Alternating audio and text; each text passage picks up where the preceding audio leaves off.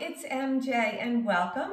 Today on this video, I want to bring you two yin poses that I think work fabulous if you're experiencing any tightness through the outer hips.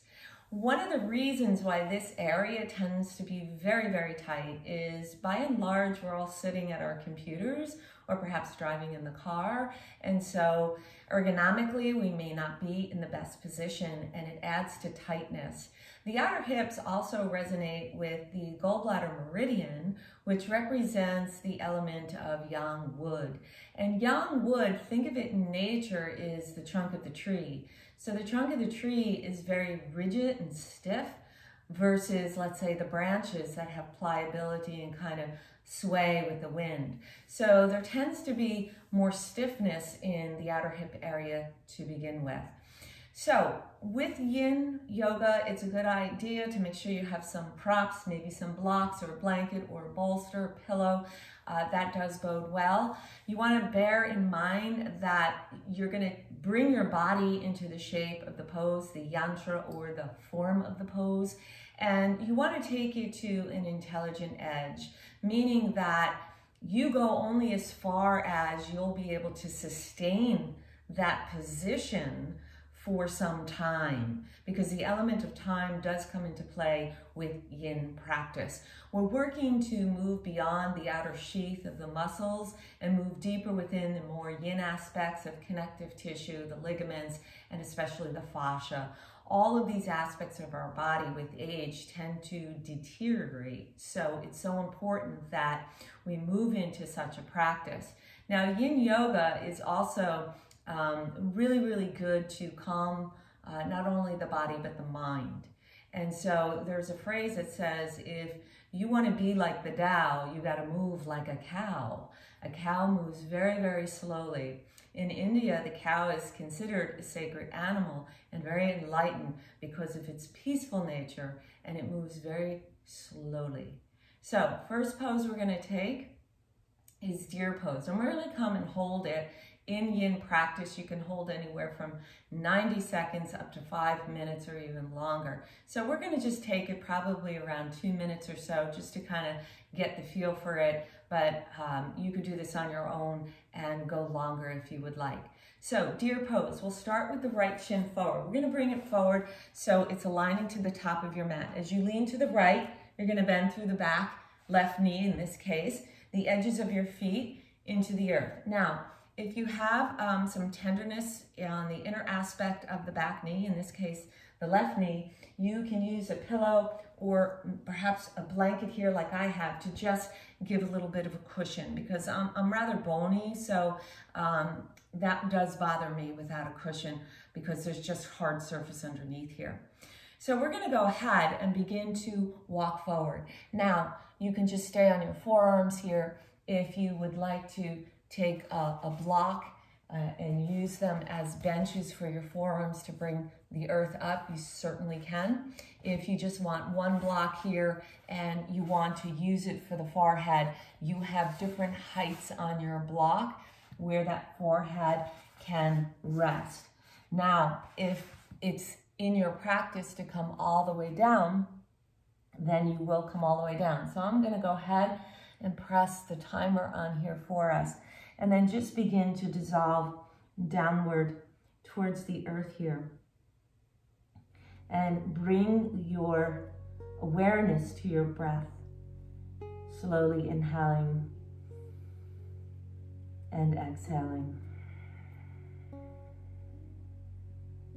Perhaps begin to notice where there might be parts of your body that are resisting the shape of the pose. So I like to say, begin to bring awareness to the edges of your feet here and soften the edges of the feet. And as you release the edges of your feet, you'll begin to feel a rebound effect. You'll feel some softness just moving towards the heels and the ankles. And then from the ankles, there's a slow but gentle release through the right calf the right shin. Let that energy simply glide the outer aspect of the right knee.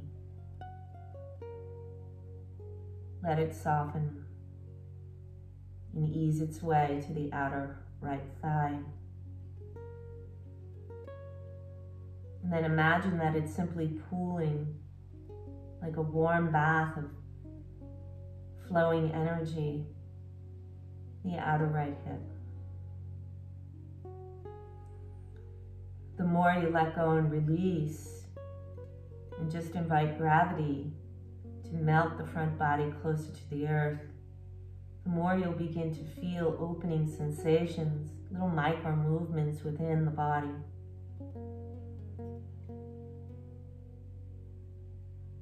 With each breath, soften the energy across the lumbar spine. And then begin to feel it melt down the left hip, the left groin, softening the inner left thigh, the inner left knee. And just roll down the left shin and into the left foot. Notice what your forearms are doing here. Are they trying to hold you up from the earth? Can you soften through the shoulders and let them release down deeper?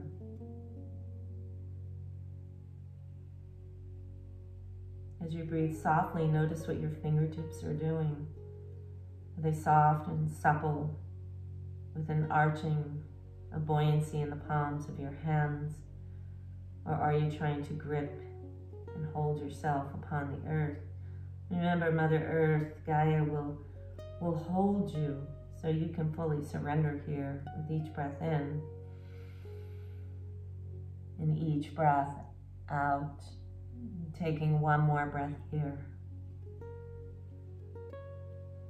On your next breath, begin to lift up placing your palms to the earth and walk them towards your body. Take pause for a moment here. And then as you lean to the right, we're gonna sweep the left leg around to stack the left knee on top of the right. Now, they seem a bit off here, so come forward on your fingertips, restack the knees, and then sit back position yourself here. Now, you may find for your body that there is a great deal of space between the two knees. And if so, you can take your blanket and prop it between to absorb that energy. Stop the clock there. Good. And so here, first we're gonna work with the side body. So we're gonna come into a lateral flexion for the spine. So take your left fingertips and walk out just a little bit. And then the right arm is gonna sweep up overhead. So we're just gonna stay here for maybe about 20 breaths. All right, and what we're working here now is the side body. And if you think about it during your day, we don't move our spine sideways and the spine moves six ways. So we want to make sure that we do invite a lateral flexion in. I want you to think about a riverbed and how the edges of the riverbed begin to erode. And so when we don't move the spine in a lateral flexion, the side body begins to shorten and erode, if you will. And so by just side bending here, not only are the muscles of the inner arm getting a nice stretch here, but the side body, where we begin to expand and stretch through the intercostal spaces or the muscles that regulate the rib cage when we breathe, expanding the lungs. So that's a beautiful thing. And the other thing to bear in mind is that there's a very large muscle in the back, the QL, the quadratus lumborum, and that muscle can shrink and contract. And that what contributes to a lot of low back pain. So take two more breaths here in this lateral flexion, inhaling and exhaling. Breath body in And breath body out. As you inhale, press away the earth and rise back up. Now we're gonna soften here into the arches of your feet with the palms of your hands. Just give it a little rub there. And then as you exhale, we're gonna come forward. So once again, if you wanna block, you can tip it up for a third eye pillow. Or if you prefer, as I said, our little timer here, you can just bow in holding the arches of your feet. And just begin to soften here. The mind will gravitate towards sensation in the body. And the mind wants to convince the body to pull out of the pose. The mind is what's doing the resisting. So we want to begin to, again, track the breath. Bring our awareness to the breath. And because the front body is forward towards the earth, we'll concentrate the breath through the back body, beginning to explore the back of the lungs and the back of the heart. And breathing gently in to the kidneys, which represents our physical jing, which represents the lineage of humanity the wisdom of the elders. So we breathe into that space. And as the breath moves there, the weight of gravity keeps moving us closer to the earth, to be held by the earth. Begin to soften once again the edges of your feet, softening of the toes.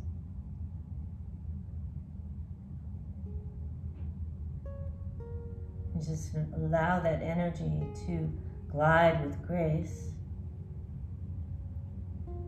up through the sides of the shins, casting on the outer aspect of the knees. And as it rides the waves on the outer parts of the thighs, once again invite the energy to pull in the outer aspect of the hips. You may notice a little bit more right now sensation to the outer right hip. And simply release. As you breathe in and as you breathe out. Perhaps notice what your jaw is doing this moment in time. Are your teeth clenched?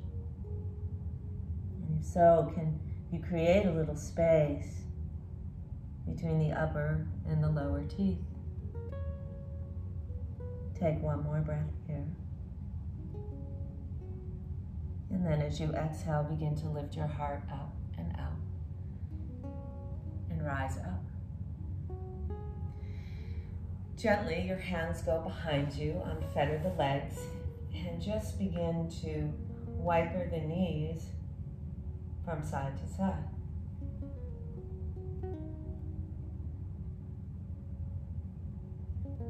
And then gently relaxing, working your way back up.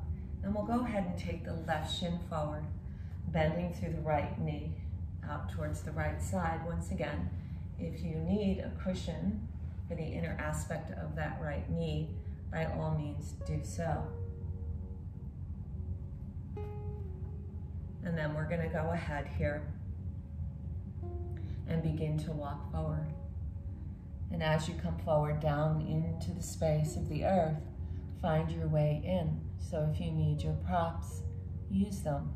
You may find one side to be very different from the other, so honor that. So wherever that may work for you, just simply fold in and release. Always come back to the breath. The breath is the teacher, the inner guru. If we follow the breath, everything else will simply melt away. The weight of the physical body, the matter, begins to soften and become absorbed into the earth.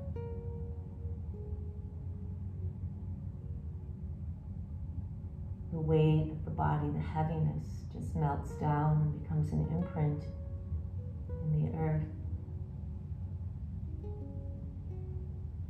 Keep softness through the soles of the feet, the toes, the edges your feet. Like the edges of the mind, just invited to soften melt. At the front of the heart, open into the depths of the bedrock of the earth. As you breathe in and as you breathe out perhaps hearing the sound, vibration of your breath.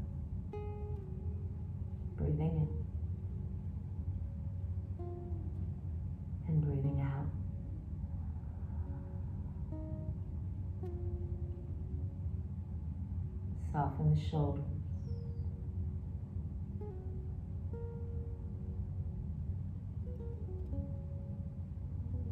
Ease the jaw.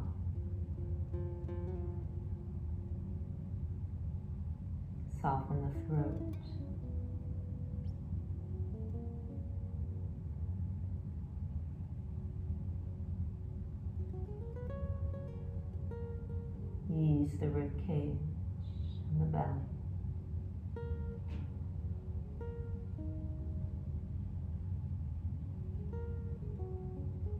Go the inner and the outer aspects. Your thighs your hips. As you breathe in and as you breathe out. On your next breath, begin to rise up tall arms and walk the hands gently back towards your body. Leaning left, grab the right leg and sweep it around. Stacking it once again if you need to come forward reposition those knees, then do so. If you need a prop between the knees, then do so. If you're unable to stack the knees, you can come into your easy pose of Sukhasana, cross-legged position with the right shin in front because each side is different. So we're gonna go ahead and work with the side body bend first, the lateral extension. So walk the right fingertips out and sweep the left arm overhead. So we're just taking a few breaths here to begin to awaken the left side body. You'll feel that beautiful stretch from the left hip along the rib cage, rising up, softening, hollowing out the left armpit, and easing the energy out through the left fingertips as you breathe in and as you breathe out. Feeling that length, the longevity being infused into the fascia, the ligaments, the connective tissue of the body. Taking two more breaths here, inhaling Exhaling. Breath in. Breath out. Press away the earth and gently rise back up. Take a moment here to soften. And then through the exhalation, begin to come forward. Once again, if you need your block for a third eye pillow, you can. And you can use any height that works for you, or simply rest your chin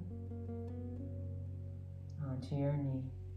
Your hands can soften in to the arches of your feet, or if you'd like to take your hands out forward and forearms resting, that is also an option.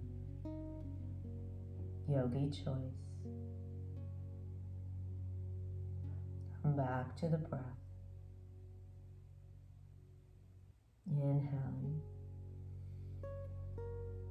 and exhaling. Notice where you need to soften, where you need to let go, where you can release. Letting go can be a real challenge in life, on the yoga mat as well. There was a story that was told by a monk, and he was giving a lecture to other monks about letting go and the importance of it. And so the next day, one of the younger monks came to him and said, Teacher, I really have a problem with letting go. And so the teacher, the elder monk, said, Come with me and have a cup of tea. So the teacher poured boiling hot water into a mug and gave the mug to the younger monk and told him to hold it. And so the monk was holding this mug of boiling water and his hands were getting really, really hot. And the teacher kept saying, Hold on to that mug. And so the student was holding on to that mug, really trying to hold on to it. His hands were burning.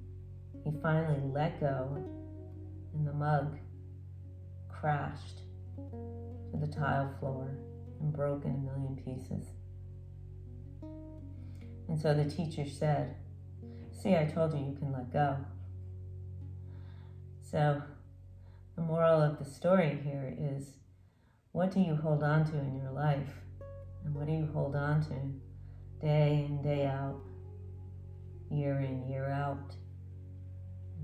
You're, you're burning yourself, but yet you're refusing to let go. So, in this practice of yin yoga, it's all about letting go, surrendering to the pose, surrendering to the earth. Take one more breath in. And as you exhale, begin to rise up and soften for a moment. Take your palms behind you, unfetter. Once again, you can widen the feet width of your mat and just wiper the knees from side to side. So, I hope you enjoyed these two poses. We actually held them much longer. We held them anywhere from three to three and a half minutes and um, except for our side bends. So when you're feeling tight or you just need to chill out and let go, try doing these two poses on both sides. Namaste.